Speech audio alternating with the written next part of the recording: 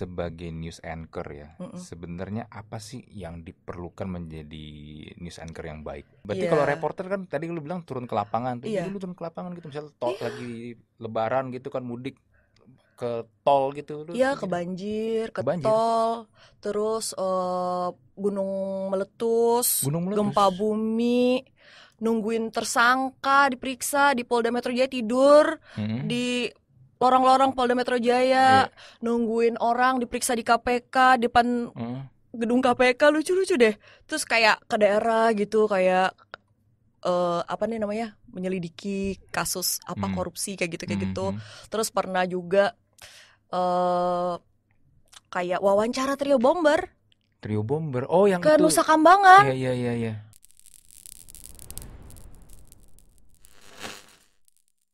Selamat datang di Mushroom, kerja terus mati belakangan bersama gua Andri dan episode kali ini gua kedatangan seorang wanita yang kayaknya sih dia hobi banget sama suka banget sama warna merah ya. Baju Oh iya merah, tadi tas ininya warna merah juga. Alin Wiratmaja, MC, news anchor dan CFP. Betul. Wah, luar biasa. Apa kabar Alin? Kabar baik Andri. Aduh. Kenapa kerja terus?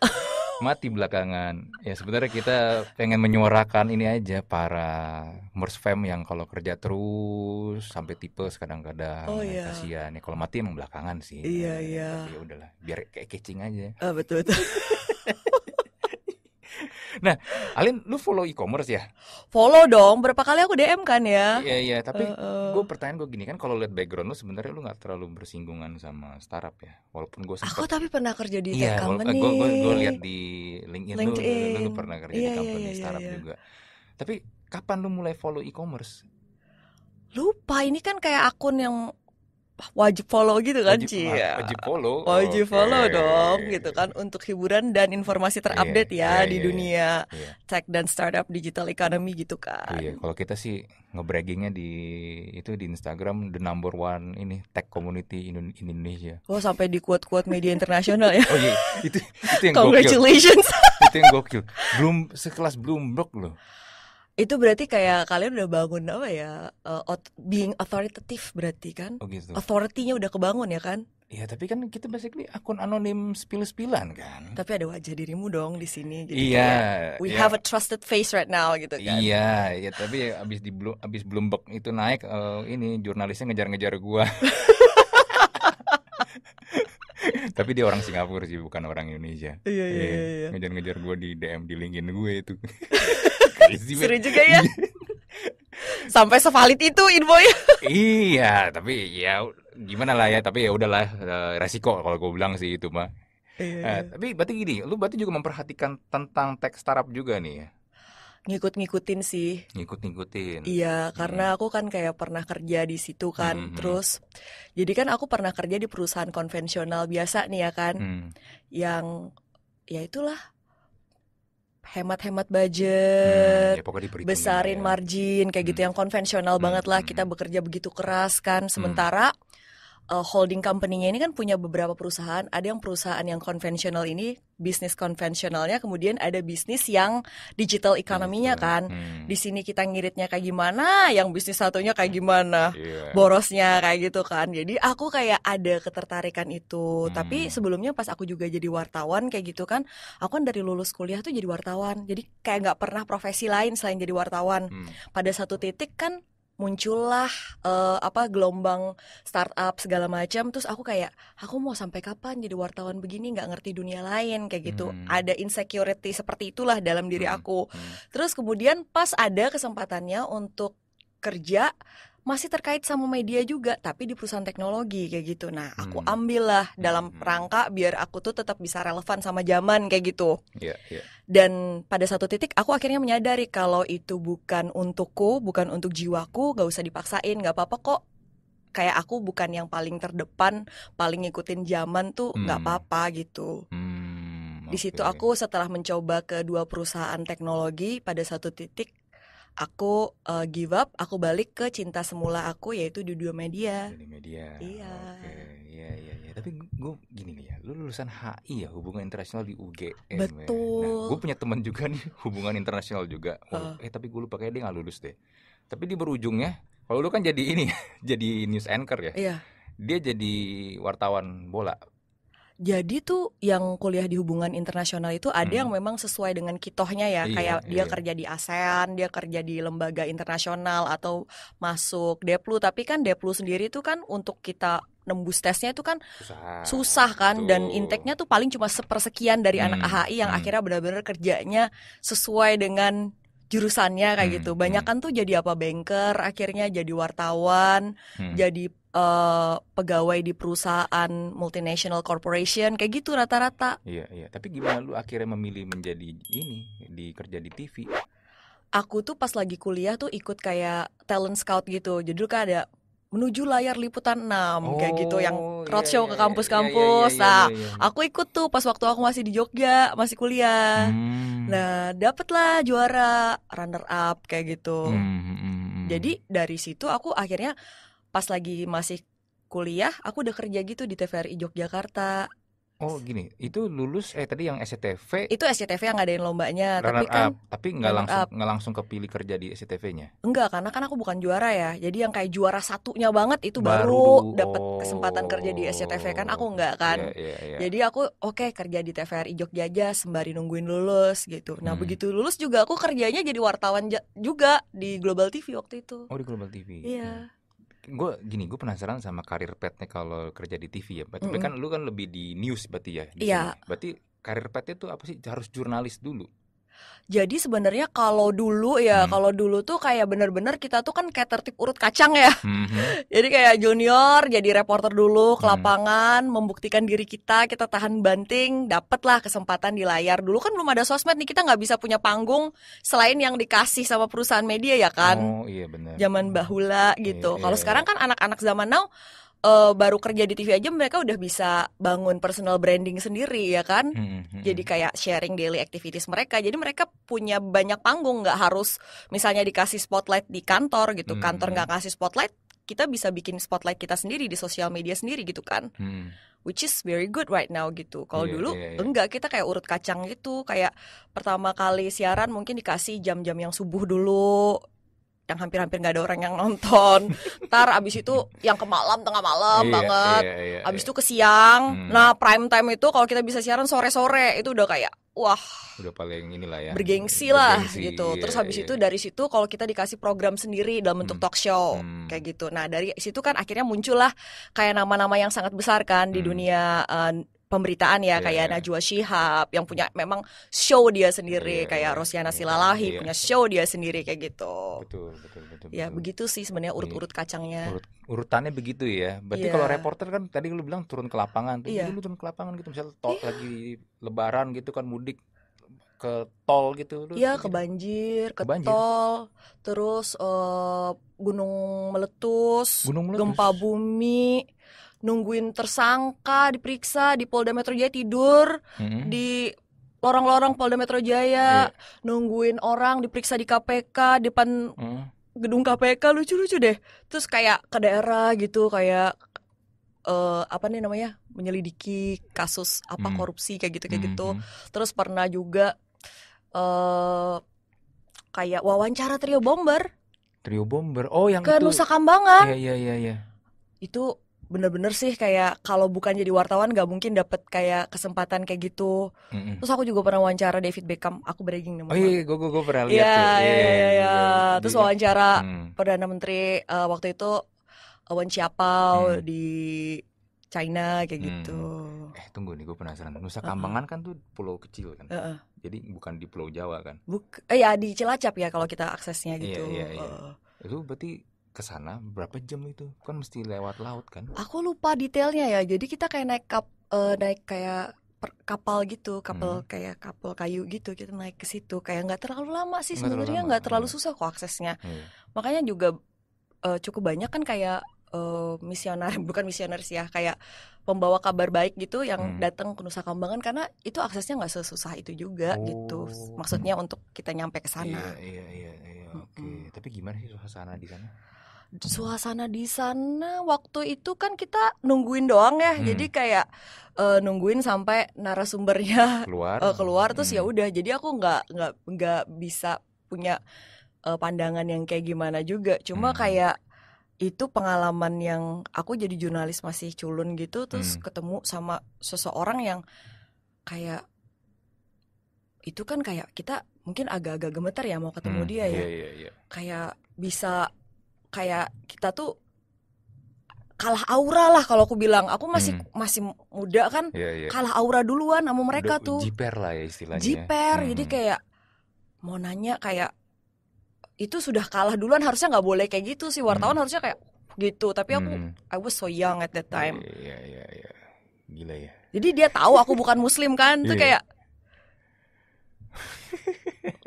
kayak gitu Iya, gila, gila, gila. di ditunjuk-tunjuk gini kayak tapi ya Hmm. kayak kalau yang smiling bomber itu emang orangnya selalu tersenyum gitu selalu tersenyum ya. selalu tersenyum begitu Amrozi emang Hmm, selalu tersenyum hmm, begitu hmm, hmm, hmm. ya itu kayak gitu sih pengalaman yang agak-agak Iya, ya ya, tapi nggak bisa dilupakan ya. nggak bisa dilupakan kalau nggak jadi wartawan nggak akan dapat Hmm, kesempatan hmm, itu hmm. Terus pas David Beckham tuh pas lagi LA Galaxy ke sini ya? eh ingat Eh, iya pas iya, lagi iya. pertandingan persahabatan Iya, iya, ya iya. aku kan waktu itu kerja di media ini kan yang jadi broadcasternya Hmm. terus ya udah kayak nungguin aja di lapangan kayak mereka nggak bisa janji lu bakalan dapat apa nggak standby aja kalau Hmm. rezeki lo dapat gitu Hmm. coba aja approach nanti begitu udah dikasih kesempatan oke boleh masuk ke lapangan gitu Iya. deketin gitu Udah deketin aja cuma nanya tiga pertanyaan waktu itu mah Ya, tapi tetap aja David Beckham. iya iya Ya, benar cuma tiga benar pertanyaan. iya iya Iya kan? Heeh. Rasanya gimana ketemu David Beckham?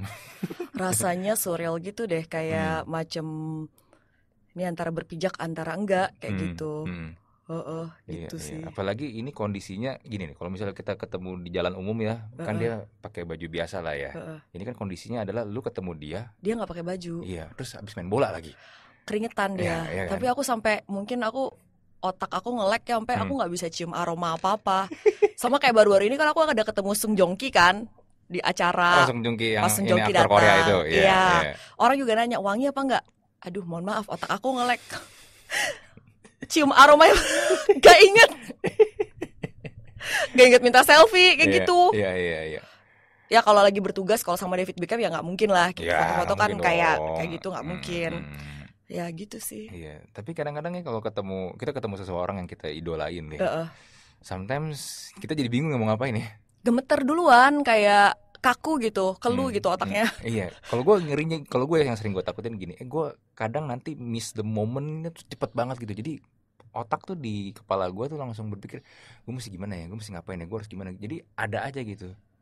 tapi kalau kita sering di posisi itu akhirnya kita hafal deh Jadi kayaknya biasa. iya aku jadi lihat biasa. kayak eh, anak-anak fans Korea yang lebih jagoan daripada aku lebih Mhm. experience mereka tuh udah kayak otomatis udah langsung minta selfie duluan gitu loh langsung iya kalau ya. aku tuh kok telat gitu responsnya ya mungkin karena belum ke level itu kali gue tuh pengalaman ketemu-ketemu public figure kayak gitu ya. Heeh. Eh, ya gue gua gua nggak gitu banyak sih. Cuman eh, waktu itu mungkin yang memorable adalah gue sempet dapet kayak undangan gitu pas lagi 2013 tuh trofi Liga Champions ke Jakarta di Gandaria City. itu. Mm-mm.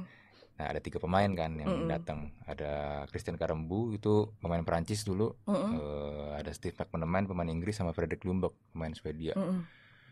Si Christian Karembu ini kan Prancis terus pernah main di Real Madrid kan dan Heeh. gue memang ngefans sama Real Madrid jadi pas gue masuk ada area tengah itu tuh Iya.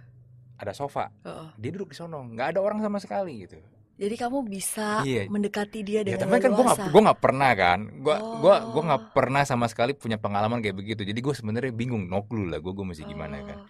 Tapi waktu itu gue bawa jersey Real Madrid gue yang kebetulan pas lagi dia juara Liga Champion di Heeh. yang jersey itu tuh musim 9 9 2000 Iya. Iya.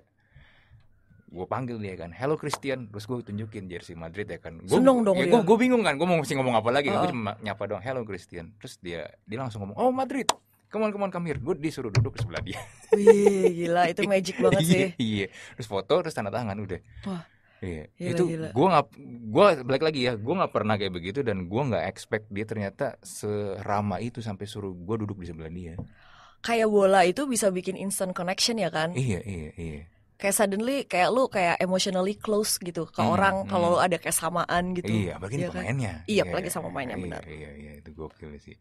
Ya, but anyway, lu berarti eh, setelah di TV ini berapa tahun kayak paling lama di ini ya, yang di Di SCTV Ya, aku SCTV paling ya? lama, Iya. iya tujuh tahunan itu di situ. tahunan. Habis itu aku pindah-pindah terus kan kayak Hmm. hampir semua kayak konglomerasi media aku kayak pernah di situ deh.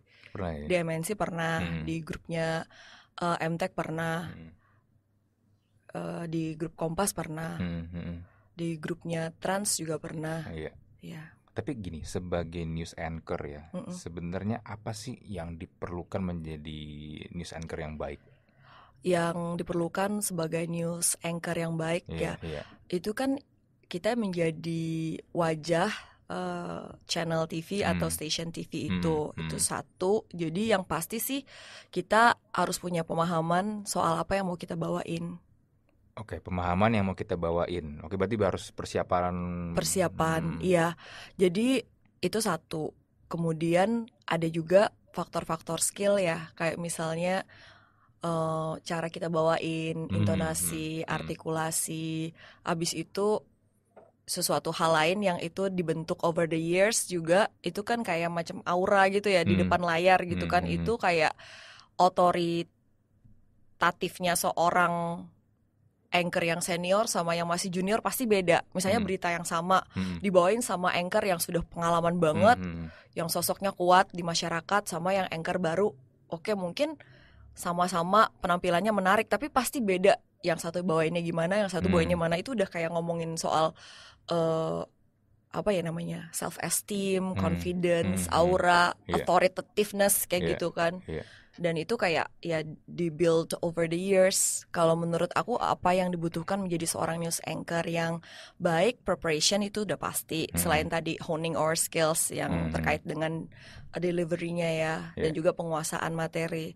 Nah, aku kayak ngerasain nikmat banget jadi news anchor itu pas aku kerja di terakhir di channel berita bisnis di CNBC. CNBC, Nah, di situ itu challenge banget. Kalau Mm-mm. sebelumnya kayak bawain berita yang eh, politik, sosial, Hmm. ekonomi, peristiwa-peristiwa kayak Hmm. gitu kan. Kalau sekarang tuh berita ekonomi itu menurut aku aku pas pertama kali di situ kan aku nggak ada basic sama sekali ya. Oh, nggak ada basic sama sekali. Iya pas direkrut tuh nggak ada basic sama sekali. Aku kayak eh, di jadi mereka sebelum berdiri channelnya mereka rekrut beberapa anchor awal Hmm. yang mereka didik dikasih apa ya kayak jadi kita tuh setiap hari ngantor tuh bukan bekerja belajar kayak sama tim researchnya gitu jadi Hmm, kayak head of hmm. researchnya gitu kasih kita materi basic makro kemudian saham Hmm. instrumen-instrumen kayak gitu nah itu selama beberapa bulan kerjanya belajar aja sampai akhirnya mereka siap di launching Hmm. jadi pas awal-awal tuh sama sekali nggak ngerti apa pun Hmm. sampai akhirnya bisa presentasi, bisa dialog Hmm. ekonomi. Itu menurut aku tuh bener-bener life changing kalau buat aku pribadi yang akhirnya Iya, iya. mengubah misalnya eh, direction Hmm. aku Hmm. akhirnya kenapa aku ngambil CFP, kenapa aku tertarik ngambil sertifikasi untuk technical analysis itu juga iya. karena aku ada pengalaman kerja di CNBC ini Hmm. gitu. Tapi apa tipping point yang bener-bener wah ini gua banget nih ngomongin ekonomi, ngomongin saham segala macam. Kan lu kan sebenarnya tadi lu bilang kan Oh, oh, lu di hire oh, oh. memang buat jadi anchor kan. Iya. Tapi kan masalah topik kan is another things kan. Temen Iya. akhirnya membuat lu menjadi wah ini kayak gue banget nih sampai lu tadi bilang lu sampai ngambil CFP Iya. segala macam itu. Oh, oh, jadi pertama kali di hire kan orang mungkin lihatnya dari skill eh, anchoringnya Iya, aja ya, iya, iya, tapi iya. kan untuk knowledge-nya zero Hmm, waktu, hmm, waktu itu Hmm, kan. hmm. Nah, tipping point-nya itu adalah ketika aku belajar pelan-pelan, kemudian aku sadar, wah, aku tuh melewatkan so many good years Hmm, by not learning economics, kayak nggak belajar finansial, hmm, nggak investasi dari muda, nggak financial planning dari muda, kayak berapa tahun aku lewatkan cuma-cuma gitu, kayak Hmm. gitu aja. hmm. Dan aku udah nggak muda lagi ya, jadi pas aku kerja di CNBC itu juga udah itu kali udah nggak muda lagi. Hmm. Bayangin sekian tahun berlalu dengan eh, finansial yang tidak terplanning kayak gitu. Hmm. Nah, jadi itu aku menemukan apa yang aku lewatkan selama ini tuh satu, kemudian juga menemukan kesalahan aku dalam soal misalnya pembelian aset eh, properti. Hmm, hmm.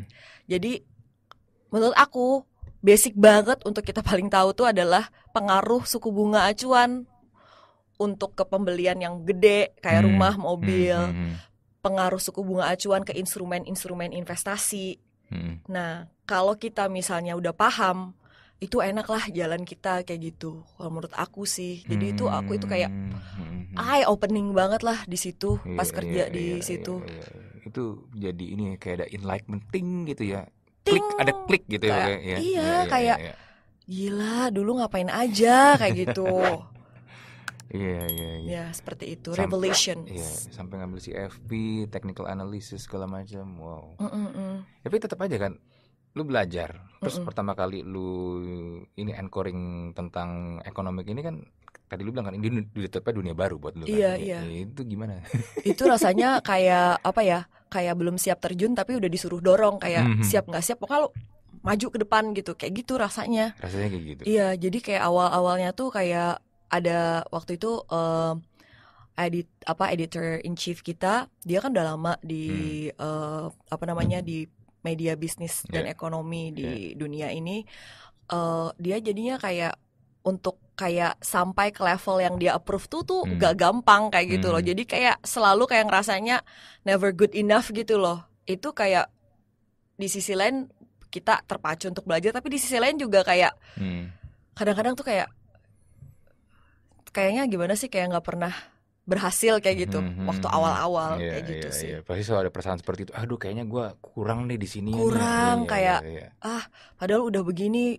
Kalau aku ingat-ingat dulu Hmm. awal-awal aku kayak sehari bisa presentasi riset dua topik kayak gitu. Mm-mm. Kok kuat ya dulu bangun subuh-subuh kayak gitu. Terus dia tuh encourage kita untuk presentasi tuh nggak pakai teleprompter Oh, karena dia sendiri, Hmm. oh dia sekarang udah jadi petinggi di BCA. Hmm. Jadi dia sendiri kalau presentasi tuh nggak pakai skrip, nggak pakai skrip. nggak pakai Oke, skrip. iya, Emang sejago itu dianya. Hmm, Jadi hmm, kayak hmm. wow, dia expect kita kayak gitu juga Hmm. bisa presentasi dengan menguasai bahan tanpa skrip. Mm-mm. Nah, itu. Berarti lu juga melakukan itu dong tanpa skrip.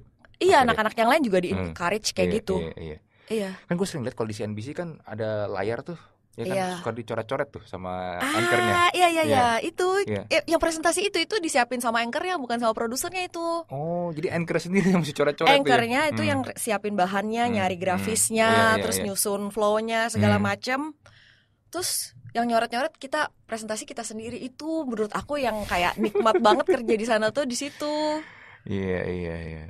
Iya sih. Sebenarnya kalau kita ini ya. Beda kan kalau cuma bacain doang Iya, sama kalau kita yang Hmm. istilahnya masak dari awal Hmm, gitu. hmm. Nah, itu kayak gitu sih, seru Iya, banget sih itu. Iya, iya, iya. Bener, bener, bener. Heeh.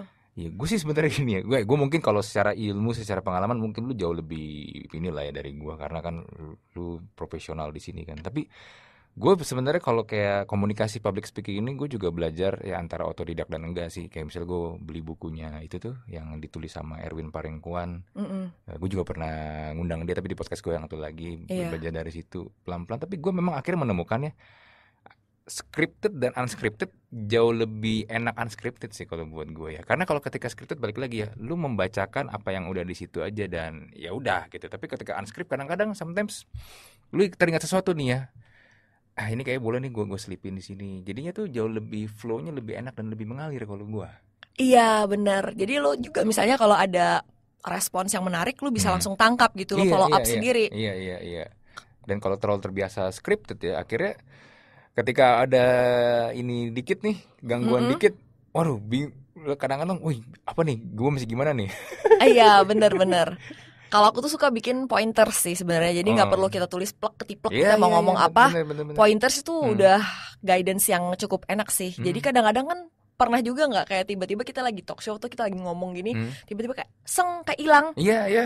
Berapa kali gue sering kok kayak gitu. Iya, kayak nah kayak ini aja kan, kayak skip aja gitu tiba-tiba. tiba-tiba skip. Iya. Nah, itu kalau ada pointers tuh kayak membantu Iya, banget kan. Iya iya. Oh ya Kayak- abis ini kita mau ngomong ini. Iya, paling nggak kita Iya, iya. kayak ada Hmm. emergency plan lah, backup Hmm, plan kayak hmm. oke, worst come to worst gue punya pointers ini nih. betul, betul. Catatan ini gitu. Iya, iya. Makanya kayak misalnya gue kalau ngundang orang di podcast orang suka nanya, ada nggak list pertanyaan? Gue bilang gue nggak nyiapin list pertanyaan. Tapi talking pointnya ini ya, udah. Iya, orang nanya kenapa pertanyaannya kan mereka mau kayak prepared gitu kan for anything iya, you ask iya. kan. Orang nggak mau kayak gue salah jawab nih nanti Iya, gue offside nih kan kita iya, paling takut kan kayak iya, gitu kan iya, kalau iya. tanya-tanya orang offside kadang-kadang Hmm. misalnya apalagi kalau misalnya yang nanya tuh bener-bener uh, skill komunikasinya tuh bikin orang ngerasa nyaman kayak gitu nah kalau Hmm. kita bisa bikin narasumber kita ngerasa nyaman Iya. tuh dia bisa bablas loh Iya, ngomongnya bener bener bener. kayak udah nggak Hmm.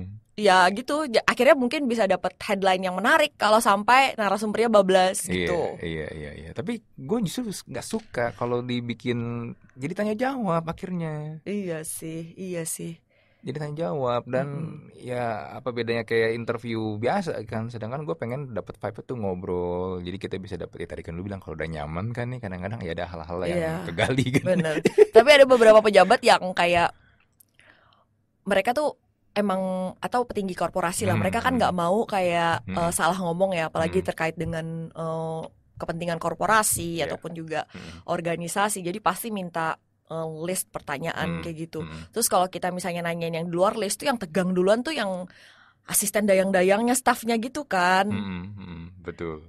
Betul. Iya, soalnya kalau kenapa-kenapa kan pasti atasannya kalau di depan TV, "Eh, iya, iya, jawab aja gitu kan. Iya. Nanti di belakangnya, kok tadi nanyanya melenceng gitu kan. Nah, Iya benar. kita sih. nyusahin, jadi nyusahin timnya betul. petinggi itu gitu. Bener bener bener. bener. Kadang-kadang gitu sih. iya iya. Tapi gini ya, gue penasarannya kan lu bilang ini lu menemukan sesuatu enlightenment lah di. CNBC ya sebagai anchor Mm-mm. di topik yang ekonomik. Tapi kenapa lu akhirnya berhenti juga di 2021? Iya, iya, iya, iya. Hmm, Jadi eh, pada satu titik gitu kan, Hmm. aku mulai belajar personal branding gitu kan. mm-mm. bikin konten-konten Iya. kayak gitu. Jadi aku tuh termasuk orang late adapter lah kalau untuk social media. Late adapter, oke. Hmm, Iya, hmm. jadi kayak pas lagi siarannya di TV nasional kayak Hmm, gitu hmm. nggak bikin sosmed. Kalau anak-anak sekarang kan pinter ya. Hmm. Mereka jadi reporter aja udah langsung bangun sosmed mereka gitu. Hmm, Personal hmm. brandingnya langsung dibangun. Iya. Jadi kayak mereka panggungnya di luar layar televisi itu juga cukup besar. Panggung Hmm. personal mereka di sosmed mereka kayak gitu. Aku Iya. kan termasuk lambat ya Hmm. nggak apa namanya nggak bangun itu dari awal kemudian aku siaran di CNBC itu kan sebenarnya marketnya sangat niche ya Mm-mm. uh, untuk audiens penontonnya tapi aku di situ uh, menemukan suatu topik yang menarik untuk aku ulas kayak gitu itu soal keuangan dan keluarga kayak gitu Keuangan dan keluarga. Iya keluarga Oke. belakangan sih awalnya aku Hmm. keuangan Hmm. saham kayak gitu jadi aku menemukan satu topik yang menarik kemudian aku kayak eh pengen punya dalam tanda petik platform sendiri lah panggung sendiri jadi Hmm. kayak aku bisa bebas berekspresi bebas nyampein apa pun konten apa pun yang mungkin Hmm. ini tidak ter- terakomodasi di media mainstream ya kan Mm-mm. terus juga ujung-ujungnya sih berharap dari sosmednya juga bisa generate income kayak gitu. Nah, aku mulai pelan-pelan konten dari 4 ribuan lah followers itu. Hmm. Awalnya kecil lah untuk news anchor segitu kalau kayak news anchor yang di TV-TV nasional tuh kayak wow, udah Iya, centang iya. biru centang biru Iya, iya. dan gede-gede banget followersnya gitu. Nah, aku kan kecil, aku mulai bangun. Nah, ternyata pas uh, followers kita nyem- nembus 10 ribu tuh udah mulai ada offer-offer masuk tuh. Hmm, Jadi tawaran brand kayak gitu kayak Hmm. gitu. Cuma kan kayak karena si NBC ini ada media yang terlisensi dan terafiliasi dengan media internasional, Hmm. code of conduct-nya dari sana itu namanya news anchor tuh nggak boleh ngambil Job endorsan brand, karena itu kayak bentuk Hmm. berarti kan nggak independen dong. Karena kan kita di TV kan eh, nggak ada favoritism Iya, brand iya, iya, iya. mana apa segala macam kayak gitu pokoknya nggak boleh lah Hmm, intinya nggak boleh hmm. ngambil endorsan. Nah terus juga eh, mulai banyak tawaran eh, jadi moderator, jadi Hmm. MC buat event-event kayak gitu. Nah Iya. yang mana sementara kan kita kalau jadi pekerja kan cutinya setahun cuma 12 hari ya kan. Lama-lama cuti ini habis dipakai untuk side job kayak Iya, gitu kan. iya, iya. Terus pada satu titik aku bilang ke suami aku yang kayak penghasilan side income-nya tuh udah lebih gede daripada main income loh Oh, kayak lebih gede ya? iya Wow, oke. dan sebenarnya Hmm. cita-cita aku banget Mhm. ya sebagai seorang ibu dan sandwich generation tuh Hmm. sebenarnya bisa tetap menjalankan kewajiban aku tanpa harus ngantor setiap hari di tengah kemacetan Hmm, Jakarta ini kan gitu. iya, Jadi iya, pengennya iya. Tuh hirender aja sesekali Hmm. gitu kerja sini sini sini Hmm, nggak hmm, terus-terusan kayak gitu yang kantor gitu. Hmm. Nah, akhirnya ketemulah momentumnya apa yang aku impikan all these years Hmm. selama ini kan nggak pernah dapat restu atau izin dari suami kan karena kayak eh, pasti aja ada khawatiran lah kita kan double sandwich ya suami Hmm. aku sandwich generation Iya, aku iya. sandwich generation jadi kita tuh harus bener-bener gak Hmm. bisa serampangan kayak gitu loh Iya, iya, iya, iya. a lot at a lot Iya. at stakes lah kayak gitu. Mhm. Nah akhirnya ketika dia bilang kayak coba aja dicatat gitu dari side income yang nggak bisa kamu ambil itu berapa nilainya. Oh ternyata jumlahnya sangat sayang kalau dilewatkan Hmm. gitu. Begitu dapat lampu hijau dari suami aku, aku langsung resign. Aku tapi sempat kerja di sekuritas tiga bulan Hmm, hmm, hmm. tiga bulan itu itu antara sebenarnya udah mau full full freelance tapi suami masih ragu oke akhirnya aku lanjut kerja lagi Hmm. tapi ya udah sampai tiga bulan itu aja sampai aku akhirnya mendapatkan izin gitu jadi begitu keluar izin dari suami aku langsung nggak mau apa ya nggak mau nunda lagi nanti dia berubah pikiran langsung gitu dibus lah pokoknya ya. iya soalnya udah Hmm. bertahun-tahun kan kepengen Hmm, kan hmm, hmm. begitu diain langsung ambil aja meskipun kayaknya kurang enak ya di CV ya aku kerja tiga bulan doang di sini yang terakhir Enggak apa-apa lah. Nggak usah ditulis itu juga nggak apa-apa. iya iya Cuma tiga bulan doang. Iya, iya. gitu Hmm. deh Iya iya iya. iya. Heeh. Oh, tapi kan sebenarnya gini Lin, gue gue kalau gue lihat ya, dengan skill lu dengan Uh-uh. pengalaman yang lu punya, sebenarnya kan talk about misalnya lu interviewer ya, lu kan bisa bikin show lu sendiri kan, even di YouTube sebenarnya bisa kan. Nah, dalam diri aku tuh ada yang kayak gitu, kayak Hmm. misalnya, oh aku tuh nggak live up to my potential gitu, kayak Hmm. maksudnya ada banyak hal yang aku tuh kurang geber secara optimal kayak Hmm, gitu. Contohnya di YouTube kayak gitu. Kemudian juga kan aku sosmed aku tuh kan dihandle sama aku sendiri. Hmm. Aku desain sendiri, bikin konten sendiri, Hmm. nggak kayak orang punya tim, Tim, kayak gitu. hmm, Kayak aku punya apa PA c- buat negotiate aja. Aku soalnya Hmm. nggak pinter nego. Oke. Iya, jadi dia Iya, cuma bantu nego aja, tapi untuk kerjaan apa itu aku sendiri kayak gitu. Hmm. Jadi kayak kurang apa ya? Optimalisasi potensi lah boleh dikatakan kayak gitu. Iya. iya. Karena di sisi lain juga aku sebagai ibu-ibu tuh juga pengen chill gitu, kayak paham nggak? Kayak maksudnya eh aku kan berhenti kerja karena aku kan pengen kayak antar jemput anak aku, Hmm. bisa jadi eh punya banyak waktu sama anak. Kalau Hmm. aku geber lagi nih, aku jadi kayak kerja lagi nggak? Kayak gitu loh. Jadi Iya, kayak aja jadinya. Eh, eh, Hmm. jadi tidak sesuai dengan apa yang aku impikan. Tapi sekarang ini aku lagi muncul kayak pemikiran yang kamu bilang, kayak mungkin aku wasting apa ya potensi ada untapped potential yang belum Hmm, aku lakukan hmm, kayak hmm, gitu, hmm. belum aku ambil kesempatan opportunity gedein YouTube misalnya itu sih. Iya iya. Karena kan sekarang punya podcast, aku juga pengen punya podcast. Iya, bikin lah podcast lah. Harus punya tim ya kalau punya bikin podcast. Eh, dulu gue sendirian bisa bisa sih, tapi ya seadanya akhirnya. Oh, Hmm. oke oke oke. Tapi kalau misalnya mau lebih bagus ya, at least berapa sih kita butuh kalau ini dua orang tiga orang lah ya, dua lah. Maksudnya satu yang di jadi hostnya, dua du- dua di editor sama di ininya yang buat bantuin di sisi teknisnya aja sih. Oh iya, sama harus punya studio kayak gini ya. Kedap suara. Ini sebenarnya nggak kedap suara loh. Ini Optional. ini dipakai begini biar suaranya nggak mantul nih tes ya.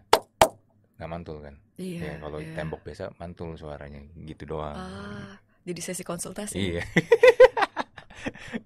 ya tapi anyway, eh gue sih ini kalau gue ya, gue tuh Ah. dari dulu tuh pengen, gue tuh suka acara talk show dari dulu. Oh, Oprah Winfrey adalah salah satu favorit gue. bener sih. Kayak ujung-ujungnya tuh semuanya tuh talk show dan about hosting. Percaya nggak? Hmm. Kayak contohnya Hmm, atlet segede segede Denny Sumargo. Ujung-ujungnya dia apa? iya, Host. jadi host, Deddy Kobusya ujung-ujungnya jadi host. host. You know Mike Tyson? Mike Tyson punya podcast Tuh, dan podcastnya tuh lucu. kan? Ujung-ujungnya tuh orang tuh kayak pengen punya Hmm. platform untuk dia bisa Ya, sharing, sharing, ngobrol sharing and kayak gitu. tell everything yang ada di otak mereka sebenarnya. Iya, iya. Iya kan? Iya, makanya kayak aku Hmm. lihat ujung-ujungnya kayak pesohor-pesohor di berbagai bidang Hmm. akhirnya bermuaranya ke talk show gitu, podcast Hmm, kayak hmm, gitu. hmm, hmm, hmm. Punya show sendiri kayak Iya, gitu. iya. Kalau gue memang gue suka talk show dari dulu. Oprah Winfrey dulu tuh gue ikutin pas zaman-zaman masih di Metro TV ya, Heeh. ya ditayangin. Eh, zaman kan sekarang udah nggak ada. Tapi pas waktu itu dia sempet bikin kayak talk show-nya tuh kayak road tour gitu. Heeh. Gue lupa namanya apa. Kayak kalau nggak salah tuh tiap bulan gitu dengan guest yang beda-beda.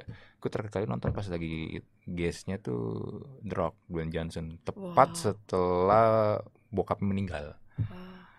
Tapi itu konsepnya di stage Mm-mm. ya mirip kayak Oprah Winfrey Show tapi ini Mm-mm. mungkin stage-nya lebih gede terus banyak penonton Mm. tapi ya ya lu nonton Oprah Winfrey lagi di situ dan ya akhirnya buat gua ketika ada platform podcast kayak begini kenapa gua nggak coba gua explore gitu loh Hmm. Iya. Aku kirain kamu ngundangnya kayak eh, apa ya kayak petinggi-petinggi di tech companies aja Gua- atau gue sih nggak harus kalau kayak gitu kayak gitu. Hmm. Kalau gue gue sih nggak harus sih. Sometimes sih ya Oh. ada beberapa yang memang gue undang karena kan ya basically audience e-commerce kan memang di tech startup kan. Iya benar. Tapi ya gue pikir kayak kalau tech startup doang bosen ya karena obrolannya bakal itu lagi itu lagi. Jadi gue mulai stretch eh, bisnis, ekonomik ya profesi-profesi lain Iya. gitu. Jadi yang nggak hanya mentok di cuman si levelnya startup atau mungkin Mm-mm. produk or whatever yang inilah turunan startup kan Mm-mm. jadi gue mulai stretch ya kayak misalnya ada waktu itu ada siapa Adriano Kalbi ya itu kan MLI komedi kan Iya iya iya. iya ada waktu itu juga ada Omobi dia kan youtuber tapi otomotif Ah. gitu jadi gue gue stretch sih ya kalau gue sih modalnya cuma satu sih gue penasaran Oh iya iya iya. kalau gue Iya iya benar-benar. Hmm. Pasti ada suatu hal yang kita nggak tahu dari iya iya iya dari iya. point of view seseorang Iya, dan gitu. dan, dan gue memang memang suka ngobrol aja dan gue pengen belajar karena gini ketika gue nge-host kayak gini kalau gue ya gue belajar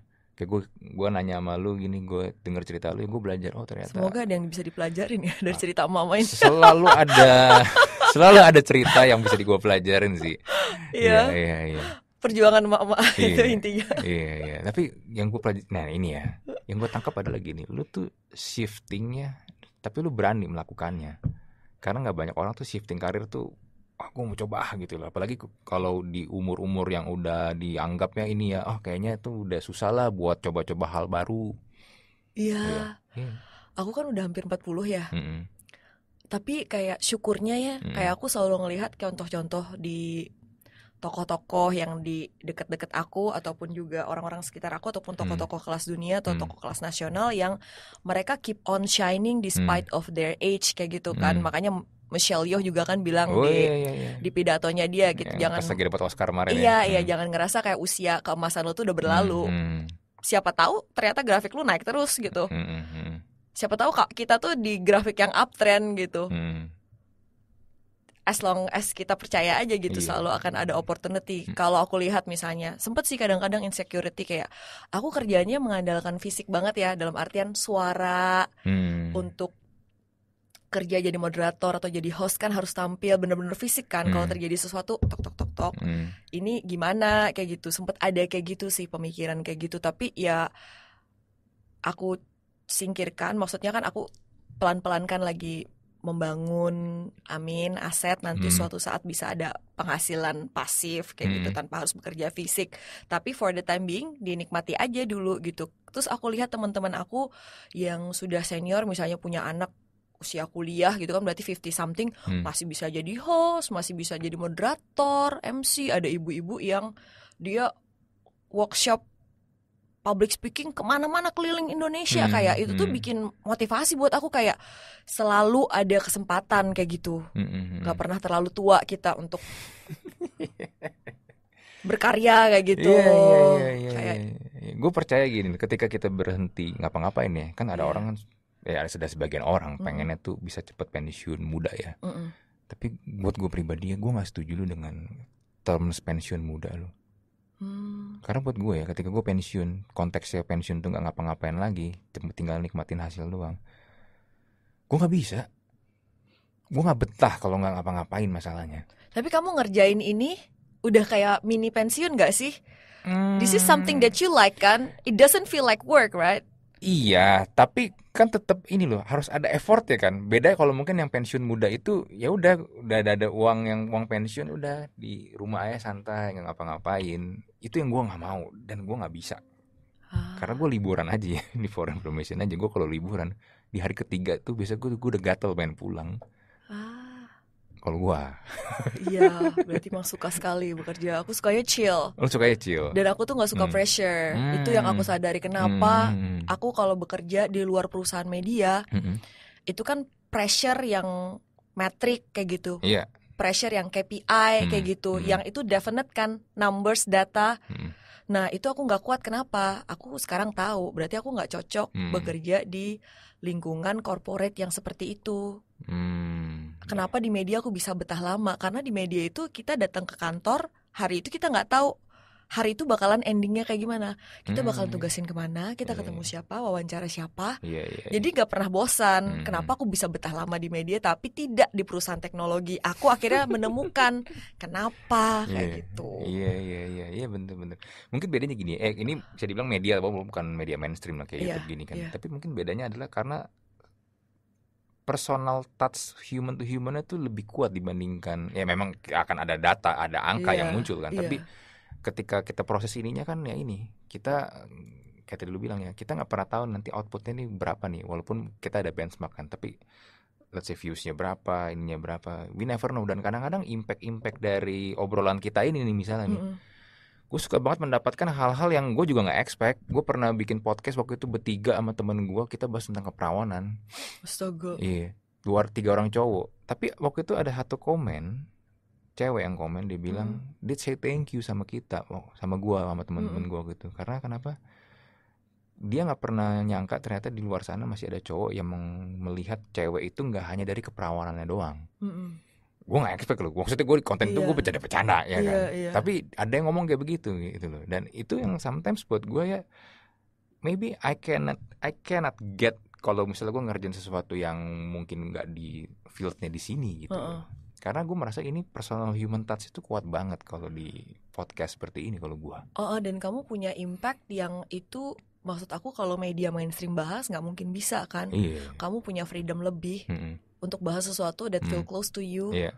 dan ternyata itu juga ada masanya gitu, ada Hmm. audiensnya kayak gitu. Mm-mm. Itu privilege banget kan? Iya iya iya iya. dan gue yakin kayak lu sekarang juga ngerjain ini ya konten lu terus lu juga share tentang keuangan dan keluarga juga itu Iya. itu pasti ya, banyak hal-hal yang lu nggak expect eh tiba-tiba eh ada aja yang kasih feedback kayak begitu. Iya, iya Hmm. bener-bener. Aku ngerasa kalau aku ngonten tuh ya, Hmm. aku tuh butuh insight mereka untuk komen di postingan aku Hmm. karena aku mau tahu pendapat orang tentang isu ini apa sih Hmm. mereka punya suatu tips atau suatu pengalaman yang bisa aku pelajari nggak Hmm. aku kayak makanya kalau kayak konten-konten aku yang soal family let me know your experience kayak gitu aku pengen Hmm. itu jadi kayak platform kayak untuk saling belajar kayak gitu Iya, loh Iya iya iya. Iya. Iya benar benar benar benar. Dan kadang-kadang ini ya unexpected ya jawaban-jawabannya. unexpected apa yang ada di kepala kita sama Hmm, di kepala hmm. orang tuh kadang-kadang beda Mm-mm. for good or for Iya worse gitu. iya iya kadang-kadang tuh kayak sesuatu dan kita tuh nggak pernah kete- ketebak konten mana yang bakalan boom gitu loh Iya. orang suka gitu Iya iya. itu sih jadi aku pikir kayak apa yang ada di kepalaku apa yang ada di hatiku aku pengen bahas apa pengen cerita apa bikinlah itu tanpa memikirkan outcome-nya ini bakalan menarik brand nggak Hmm. gak usah pikirin itu deh Mm-mm. kayak as long as we help ourselves and we help others tuh udah cukup menurut aku ya Mm-mm. Mm. kayak kalau mikirin ah aku mau bahas kontennya reksadana aja ah biar dilirik sama platform penjual reksadana kayak Hmm, gitu hmm. kayak gimana ya kan orang tuh pasti bisa lihat Jin apa Ini ini ini sincere atau genuine enggak? Iya, sincere gen- apa eh, enggak iya, kayak iya, gitu iya. jadi aku Hmm. kayak dan lagi pula nanti misalnya pas nggak ada brand yang tertarik jadi kepikiran overthinking kan hmm gitu kan jadi aku kayak Hmm. udahlah cuek aja konten apa yang aku pengen aja Iya. konten soal kenapa anak aku cuma satu Hmm, konten harus ngasih tahu nggak sih penghasilan kita sebagai orang tua nih ke anak hmm.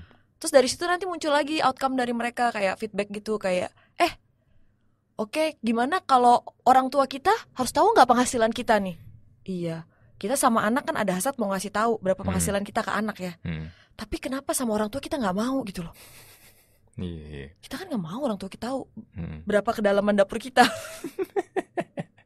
Ya some people ada yang kayak gitu memang. iya tergantung orang tuanya Iya, juga iya, kali iya, ya tergantung orang tua juga.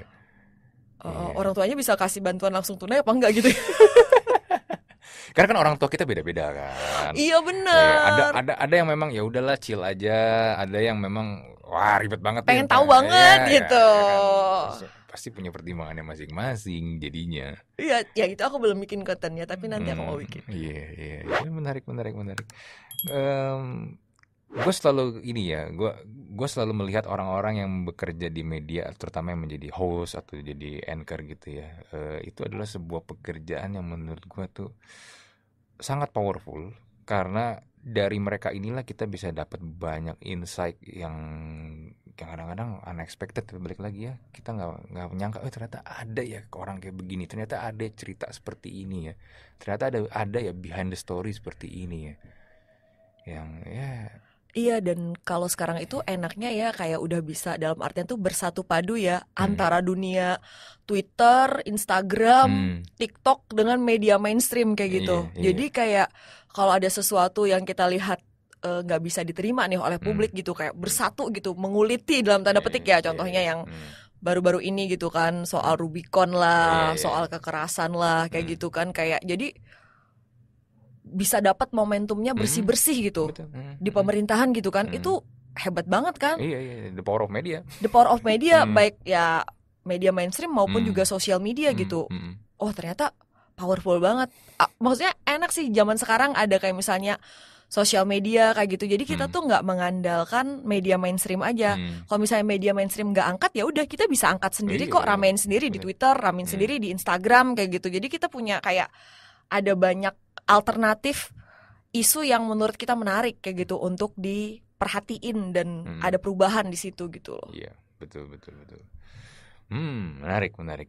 Nah ini pertanyaan terakhir nih ini pertanyaan ala ala dari TV nih. Oh, iya. Iya. terakhir ya udah ya Iya ini nextnya nextnya apa nih planning nextnya? Di TV suka gitu kan nanyanya. Planning nextnya iya betul betul.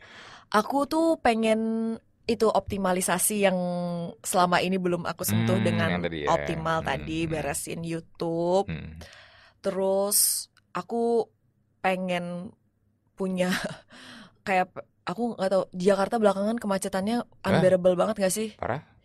Iya, aku kayak pengen pada satu titik kayak skill aku mumpuni, aset aku mumpuni untuk aku bisa pelan-pelan uh, slowing down pindah ke kota kecil kayak gitu. Pindah ke kota kecil. Peng, ya pengen pindah ke kota kecil. Hmm, gitu ya. Iya. Gue sih udah nggak di Jakarta sekarang tinggal. Di mana? Gue di Sentul.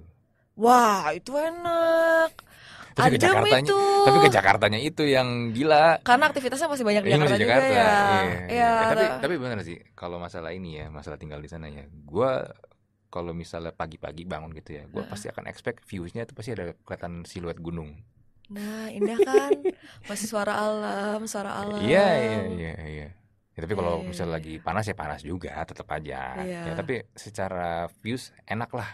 Iya, iya, iya. Hmm. Cuma kalau masih apa kalau misalnya anak kita masih kecil gitu kan kayak kita pasti pengen kita punya akses ke eh, sekolah yang bagus kayak gitu Hmm, kan. hmm, Jadi hmm, itu hmm. yang maksudnya perlu dipikirin mungkin nanti setelah anakku kuliah kali baru. Oh ya. A- Panjang juga masih long- lama ya, long plan long plan ya. Iya. Jadi nggak what's next juga nih Iya, sebenarnya. iya, iya. Ibu- Impian iya, jangka panjang. Betul, ibu kota negara udah pindah tuh kayaknya. Udah kayaknya ya menantikan deh aku. Iya iya. Oke deh Alin, thank you banget ya buat ngobrol-ngobrol ya. Iya iya, semoga buat Merfam juga yang dengerin nih bisa dapat banyak insight juga kalau ternyata tuh shifting karir tuh bisa, bisa banget tapi ya balik lagi Anda juga harus mempersiapkannya dengan baik ya, jangan shifting ganti-ganti tiba-tiba Iya, siap. jangan mendadak ya. Iya. Jadi kayak dilihat dulu kalau nggak shifting kesempatan apa nih yang kita lewatkan Nah, intinya itu sih. Bener bener bener. Oke oke. Gua close untuk Mersroom episode kali ini. Gua Andri dan Alin. Mohon pamit kita jumpa lagi di Mersroom episode berikutnya. Bye.